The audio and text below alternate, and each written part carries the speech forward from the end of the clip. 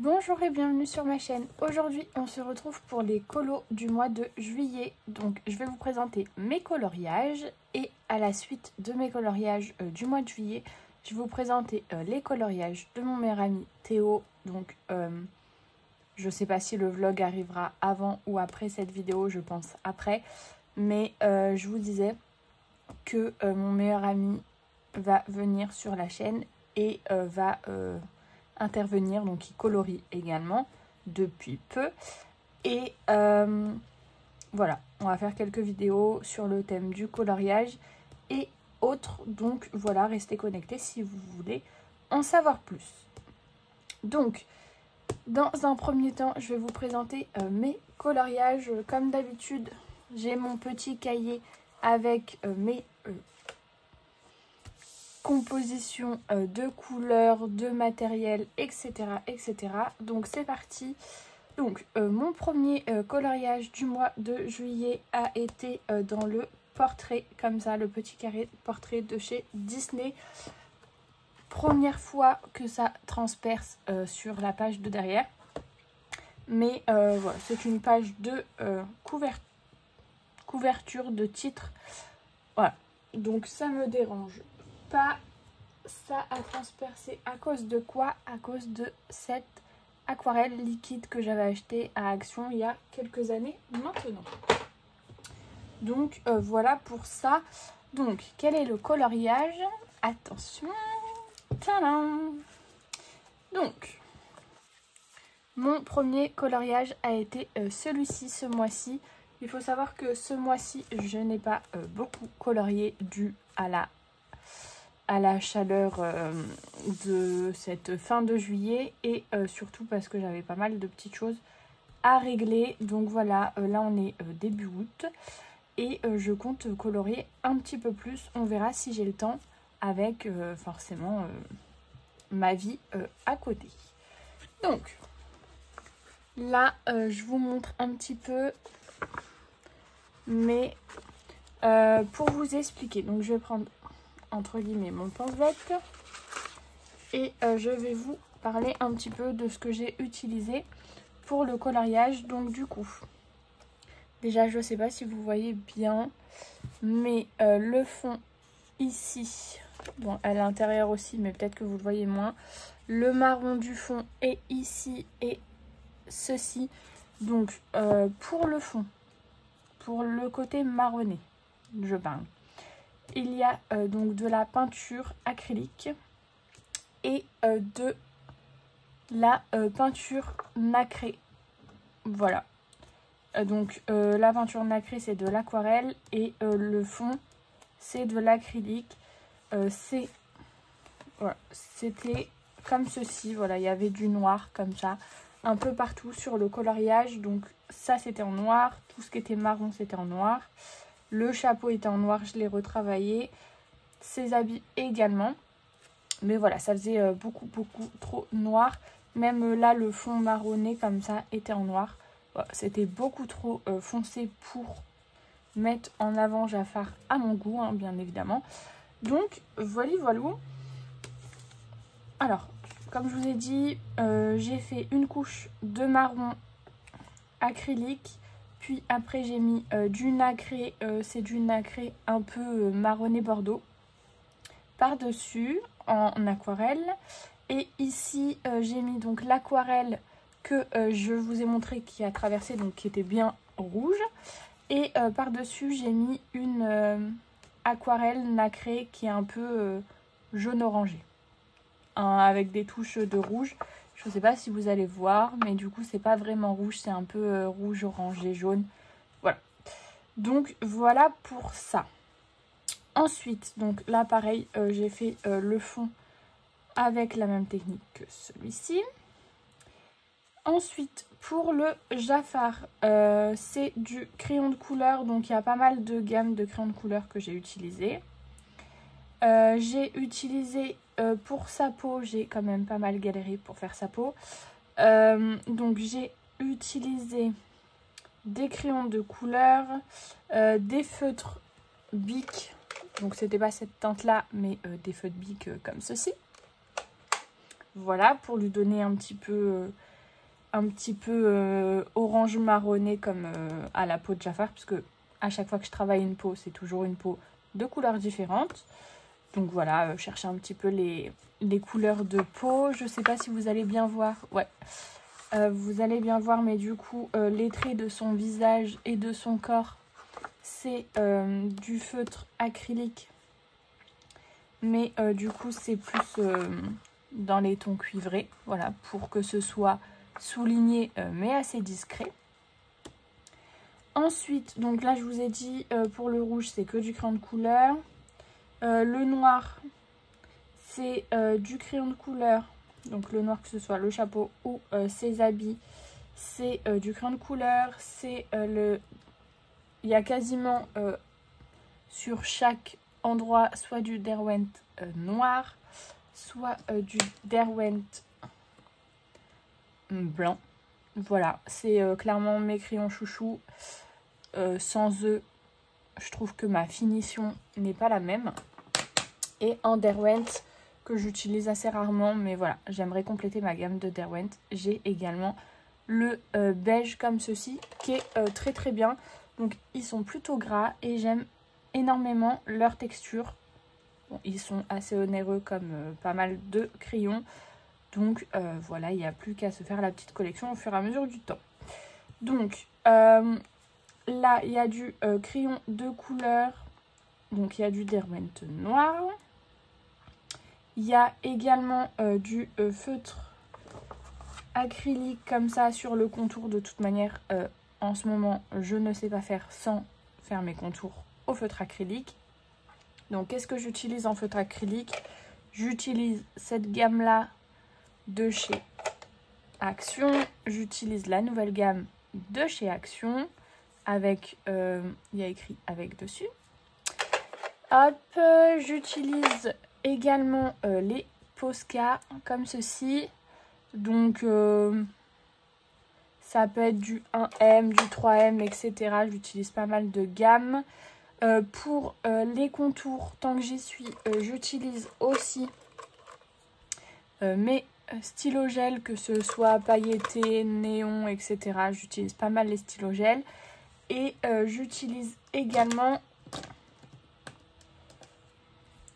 Euh, soit le Jelly Roll comme ça, soit le signaux blanc comme ceci.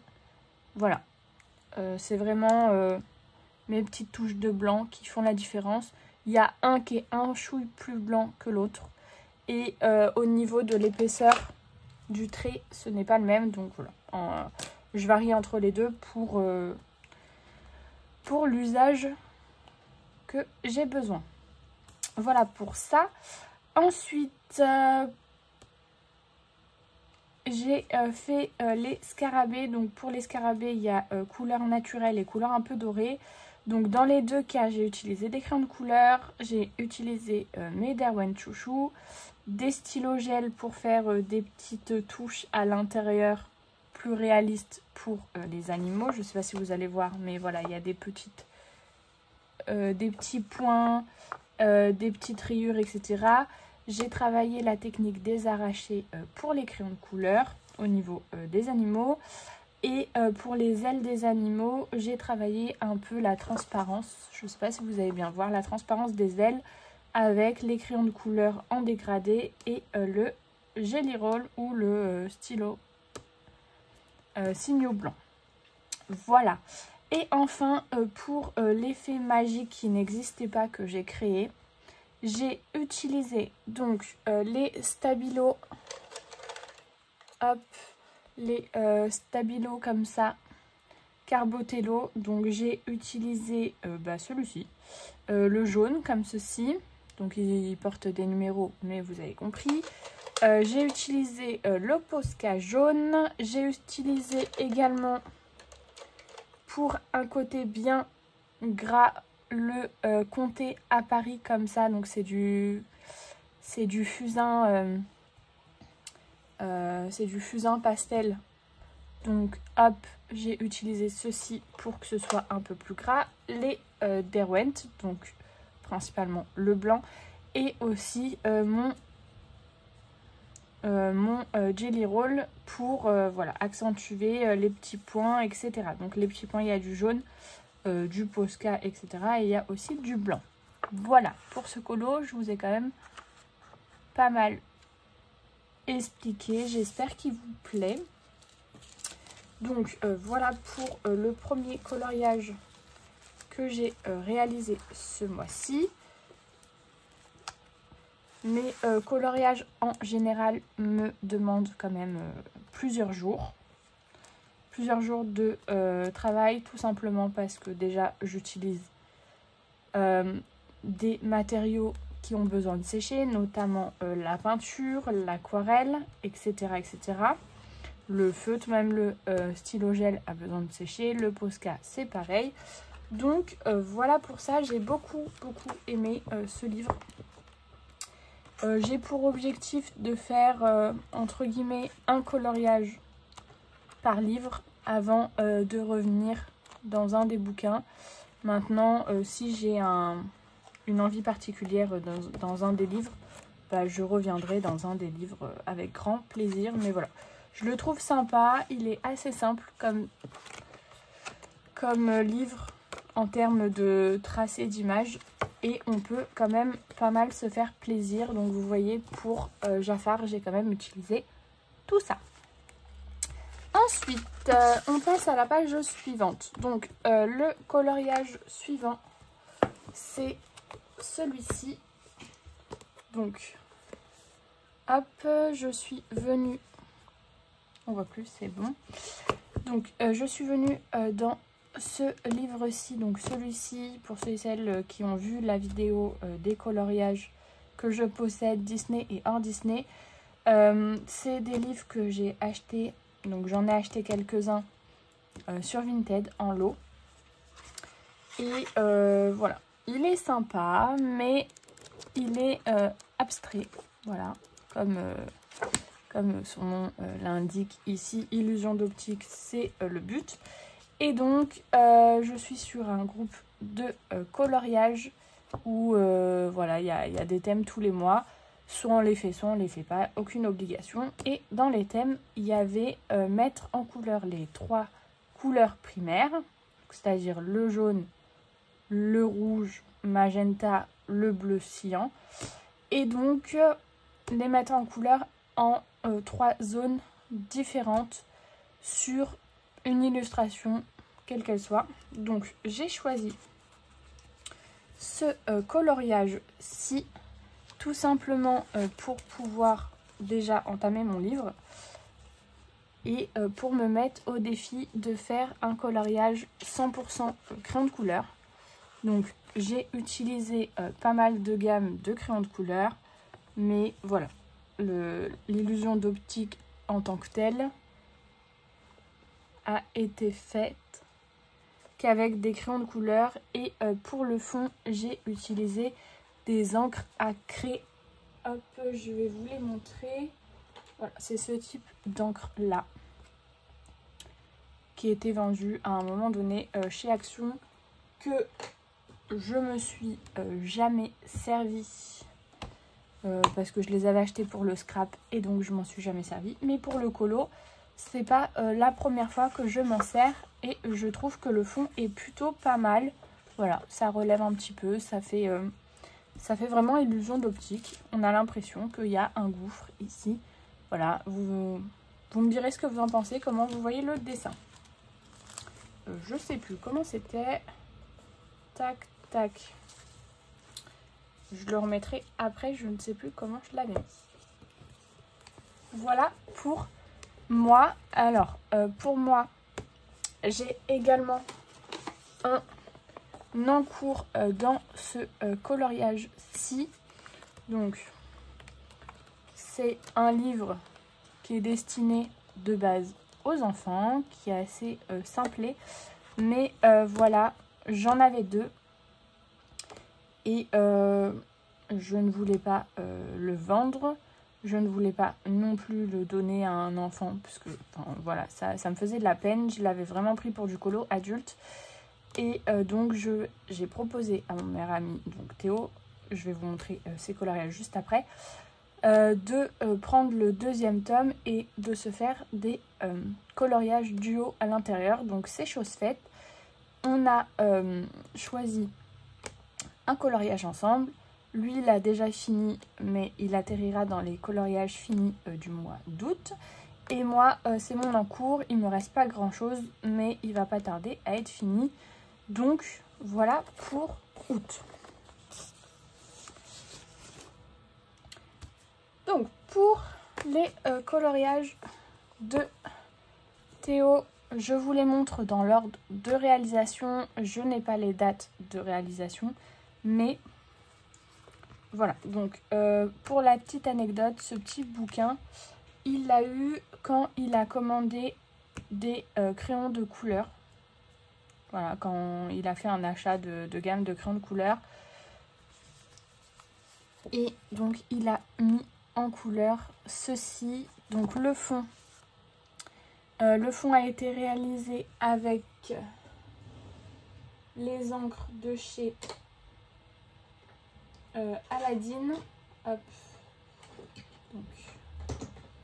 Des encres comme ceci, c'est pas forcément la bonne couleur, mais euh, voilà. Des encres de chez Aladdin comme ceci qui sont aquarellables.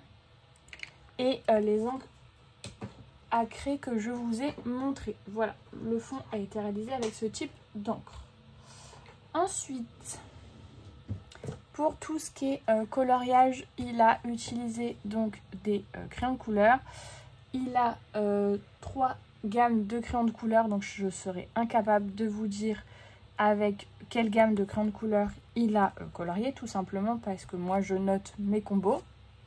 Donc hop, vous voyez, moi euh, je note mes combos ici, donc ça c'est mon encours qui me fait déjà 3 pages et quelques.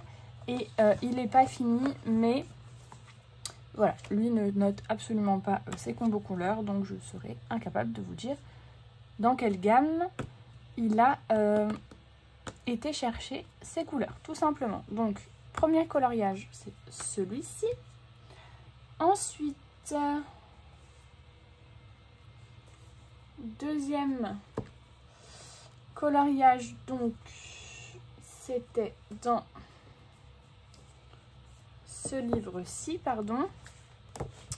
Donc, son deuxième coloriage, tac, tac, c'est celui-ci, donc il a commencé à s'entraîner un petit peu sur les différentes couleurs qu'il pouvait donner aux baleines.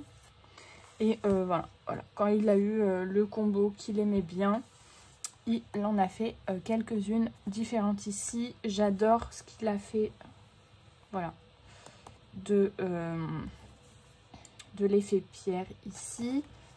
Et si vous voyez bien sur euh, le coloriage, voilà, il y a quand même pas mal de dégradés. Là, je pense que vous le voyez sur la chevelure, etc. Donc, il s'en sort quand même plutôt pas mal, vous me direz en commentaire, pour quelqu'un qui n'a jamais euh, fait de mise en couleur de sa vie. Ensuite, dans euh, ce livre-ci, que euh, je vous dis pas de bêtises, que je vais bien dans l'ordre des coloriages. Donc je les ai notés avec lui. Alors, il a réalisé celui-ci que je trouve juste canonissime. Ah, j'adore les petits avocats comme ça. La petite île, elle est trop chou. Donc euh, voilà. Comme quoi qu'on peut faire de très très belles choses avec quelques gammes de crayons de couleur. Vous n'êtes pas obligé de faire euh, comme moi avec pas mal de médias différents. C'est juste que voilà, moi je m'éclate comme ça. Après, chacun fait comme il veut. Mais dans tous les cas, on peut avoir un rendu euh, très très sympathique si on s'y met un peu plus que quelques secondes. Et enfin, dans euh, ce livre, il a fait ceci. Donc, euh, c'était pareil pour euh, le défi. Hop, le défi euh, que qu'on a fait en commun sur les couleurs primaires. Donc, voilà, il a bien ces trois zones. dans les rouges, dans les jaunes et dans les teintes de bleu. Trois zones différentes sur le même coloriage avec donc les couleurs primaires. L'approche est différente mais euh, tout aussi intéressante. Donc voilà pour ce livre. Ensuite, il a fait le coloriage dont je vous ai parlé qui est en duo dans ce livre. Bien évidemment que je ne vous montrerai pas son son coloriage. Mais voilà, un petit aperçu euh, du livre. Hop Pour vous montrer un petit peu euh, les illustrations qui sont plutôt sympas dans ce type de livre. Et euh, pour l'anecdote, ce livre est à moins de 5 euros. Mais honnêtement, c'est une pépite. Je pense en acheter quelques-uns des maxi colo pour l'avenir. Voilà J'espère que cette vidéo vous a plu sur euh, les colos terminés euh, du mois euh, de juillet pour moi et donc de ces colos terminés depuis qui s'est mis à cette passion. N'hésitez pas à me dire en commentaire votre coloriage préféré et pourquoi. Voilà, tout simplement. J'ai prévu de vous faire quelques tutoriels dans les vidéos à venir, donc ça ne serait tardé.